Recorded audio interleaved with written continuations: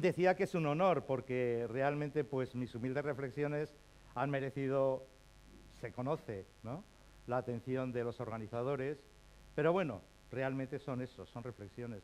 Y en segundo lugar es una gran oportunidad para mí porque lo que pienso hacer durante todo el día de hoy es aprender mucho ¿eh? de vosotros. Eh, me toca hablar de la gran deconstrucción. Quizá no es la gran deconstrucción, quizá es la gran demolición.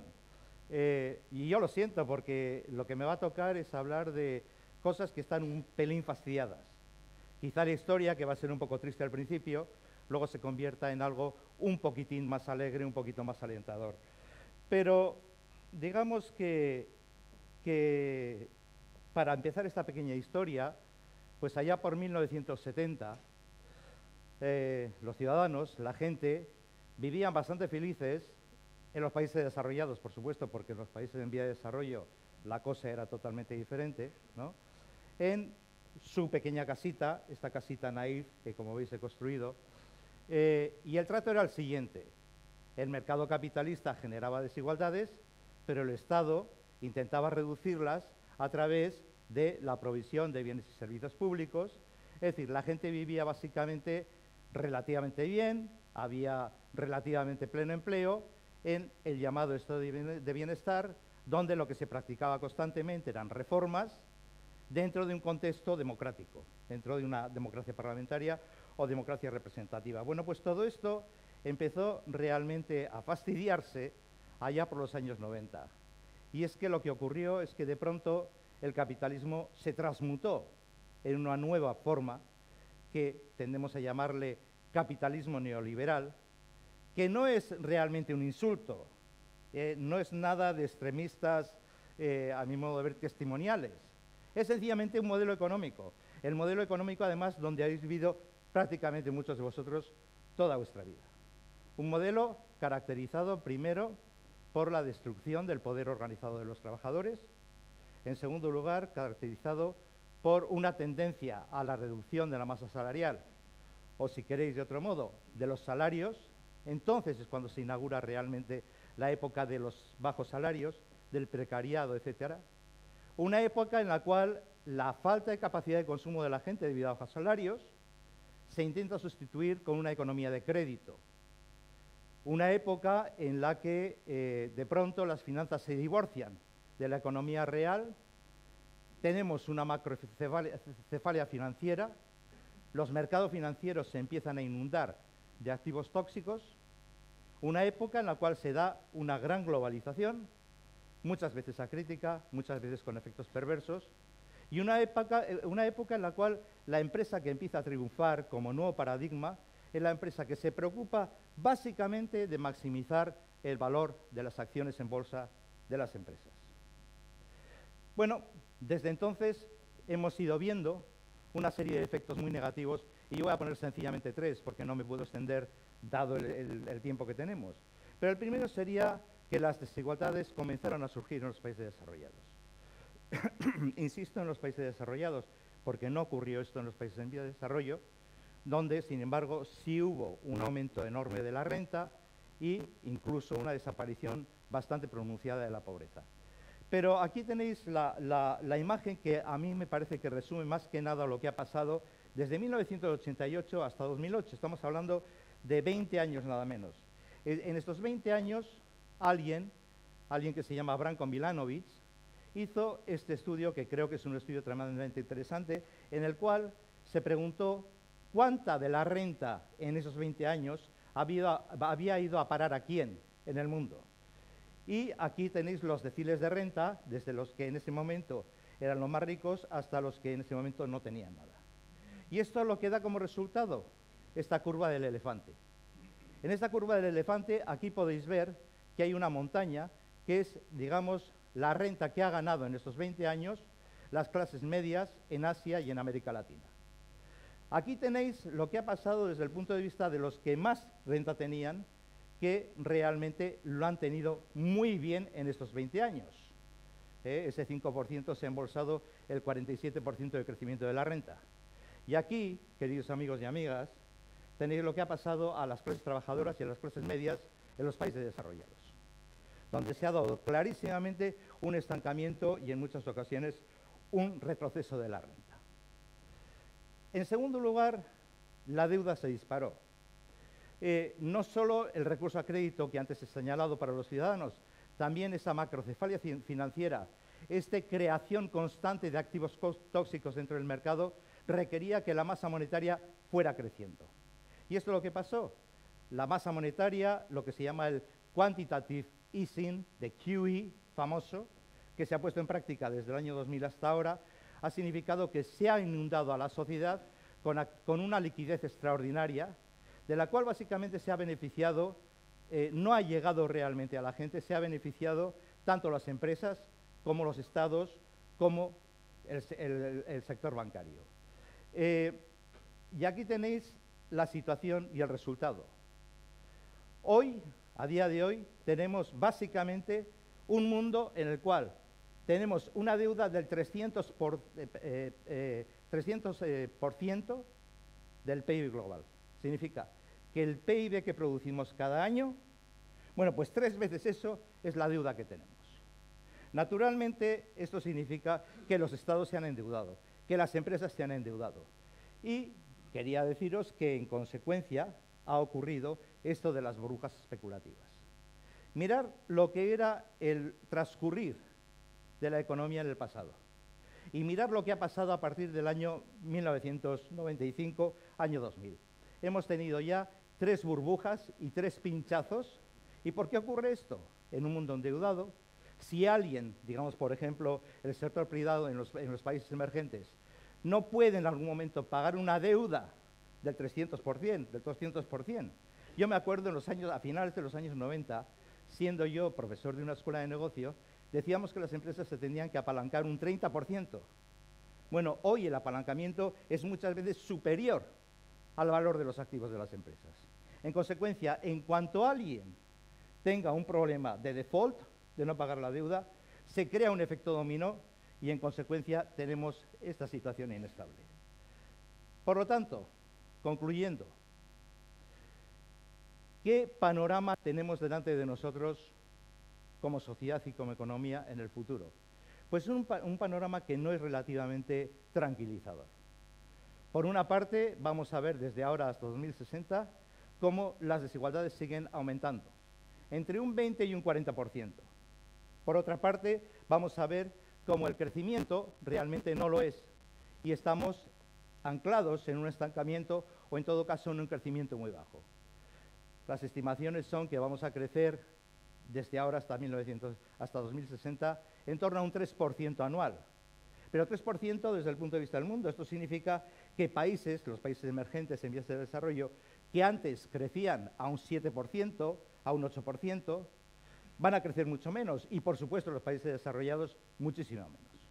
Por lo tanto, ¿qué panorama tenemos por delante? Pues un panorama realmente en el cual tenemos estancamiento económico, tenemos crecimiento de las desigualdades, tenemos todo esto trufado por sustos de burbujas y de pinchazos de las burbujas, y tenemos en definitiva lo que más nos importa, una sociedad dividida en la cual un 80% de los trabajadores están estancados o empobrecidos, un 20% de trabajadores que lo están haciendo relativamente bien, un 1% de la población mundial que en este momento ya tiene más riqueza que la mitad del mundo y un 99% que no se está beneficiando de esa situación. En el fondo, una economía, yo diría, del salve quien pueda, una economía en la cual realmente no podemos hablar con tranquilidad, una economía que yo me atrevo a calificar quizá de un modo un tanto escatológico, una Mad Max Economy. Eh, pero esta economía puede continuar a futuro. No hay nada que impida que, a pesar de este horizonte, esta economía no siga de infinitum. Por lo tanto, yo no estoy hablando de la necesidad y de la obligatoriedad y de la inevitabilidad de una crisis final del capitalismo. No es esto. Lo que estoy diciendo es que, sin embargo, hay tres grandes shocks delante de nosotros que sí le ponen fecha de caducidad a lo que tenemos encima de la mesa. Y estos tres grandes shocks sociales son los siguientes. En primer lugar, el cambio climático. Señores, lo sabemos todos. Sabemos que si a partir de 2020 no empezamos a extender el nivel de CO2 en, el mundo, que si, en el año 2050 no hemos reducido a la, mitad, a la mitad las emisiones de CO2, nos vamos a enfrentar a efectos catastróficos en forma de fenómenos climatológicos extremos. Y esa es la realidad. Lo sabemos todos, sabemos el por qué hay que detener el cambio climático. Sabemos qué hay que hacer para hacerlo. Ahí está la COP21, la COP21, el acuerdo de la Convención de París del año pasado. Sabemos qué hay que hacer. Lo que no está claro es cómo lo vamos a hacer. Y no me quiero detener mucho en esto, pero sencillamente deciros, si en Europa queremos descarbonizar, tendremos que cambiar el modo de producción de la energía. Pero sin embargo estamos viendo que las subvenciones al combustible fósil sigue creciendo año a año. Por lo tanto, algo que tendremos que hacer desde el punto de vista de cómo realmente vamos a detener el cambio climático. Pero este es el primero. El segundo es el envejecimiento de la población. España tendrá en el año 2056 un 40% de eh, gente mayor de 65 años. Y esto significa que los sistemas de pensiones que tenemos, sean de capitalización en unos países, sean de reparto de caja en otros, van a entrar en serias dificultades. Y el tercer elemento son las migraciones. Mirar este cuadro. No sé si lo podéis ver, pero estamos hablando de aumentos de la población que más que doblan la población actual en muchos países de África y de Oriente Medio. Y estamos hablando al mismo tiempo de un decrecimiento de las poblaciones en Europa. Realmente yo calculo que para España pueda mantener el nivel de pensiones para el año 2050, vamos a necesitar de 200 a 300 mil inmigrantes cada año pero no hay políticas claras, sensatas, razonables de inmigración. Y casi casi apagamos y nos vamos, porque con este panorama es esto todo. Pues yo creo que no es esto todo, porque detrás de esta casa que ahora ya la tenemos en ruinas, de esta grande construcción, resulta que había otra casita pequeñita. Y esa casita pequeñita tiene elementos muy interesantes. Por una parte está la nueva política. Y no quiero realmente hacer panegírico de este tema, porque las soluciones políticas en este momento no están ni mucho menos claras. Ante los desastres sociales del capitalismo neoliberal han surgido evidentemente una serie de protestas que en este momento han cristalizado en una serie de nuevos partidos. Por otra parte, se puede decir también que la socialdemocracia se empieza a desperezar, ¿no? con gente como Corbyn, con gente como, como Sanders en Estados Unidos, en España el otro día escuchaba como Borrell decía, mirar, vamos a dejarnos de hablar de politics y vamos a empezar a hablar de policies. Vamos a dejar de, dejarnos de politiqueo, vamos a empezar a hablar de soluciones. Todo eso está, empieza a ocurrir, pero no está claro que tengamos todavía una solución por ahí.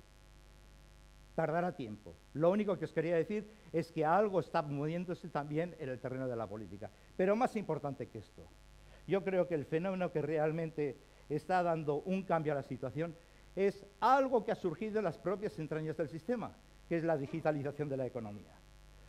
Muy rápidamente, la digitalización de la economía significa que estamos ante la, tercera gran revolución, y además que es una revolución industrial, me refiero, después de la máquina de vapor y la electrificación, pero que al mismo tiempo es una revolución que tiene un elemento absolutamente novedoso. Y es que el objeto, el nuevo input productivo se llama información. Y la información es infinita. La información digitalizada tiende a ser libre. La información digitalizada tiende además a que su coste sea marginalmente coste cero. Eso es algo que tenemos encima de la mesa, pero esto no, no creáis que solo está trayendo efectos positivos. Es evidente, yo lo creo, que esta nueva transformación de la economía va a producir una expulsión creciente de trabajadores productivos del sistema, porque sencillamente ya no son necesarios. Va a producir, y está produciendo ya, reducción de jornadas. Está produciendo también la aparición de nuevos monopolios tecnológicos que se van a resistir a bajar los precios de bienes cada día realmente en términos de coste más baratos. Pero sobre todo, y lo más importante es que está induciendo la aparición de la economía colaborativa. La economía entre iguales, la economía que combina la producción con utilidad mercantil con la producción con utilidad social. Y con esto quería un poco terminar porque realmente pienso, pienso que los que estáis hoy en esta sala sois parte de la solución, sois parte del futuro. Lo que no sois es esos capitalistas que en el año 2014 ¿eh? lo que hacían era emitir deuda y al mismo tiempo recomprar sus acciones, revalorizar las acciones de la empresa y con eso sus propios salarios y sus propios bonos. Eso no lo sois. Pero ojo, porque estos son legión. Quiero decir, en el tercer trimestre de 2014, las transacciones especulativas de empresas en este sentido fueron nada menos que 200.000 millones de dólares en Estados Unidos, y estoy hablando de un trimestre. Yo creo que lo que sí sois vosotros es gente que está atendiendo a lo que Peter Drucker dijo en su momento, que toda necesidad social no cubierta es una alternativa de negocios disfrazada. Yo creo que si sois gente que tiene lo más importante para que una empresa tenga éxito, lo más importante para una empresa para triunfar no es el qué se hace, no es siquiera el cómo se hace, es el por qué. Y si uno tiene el por qué, uno tendrá éxito. Y luego ya vendrán otros éxitos monetarios o no. El éxito está ahí. Esto es lo que creo que sois vosotros y yo os deseo para finalizar pues una fructífera, fructífera eh, jornadas de WeShare Fest y mm, desde luego mi felicitación a WeShare por la gran iniciativa que ha tenido a nivel mundial. Muchas gracias.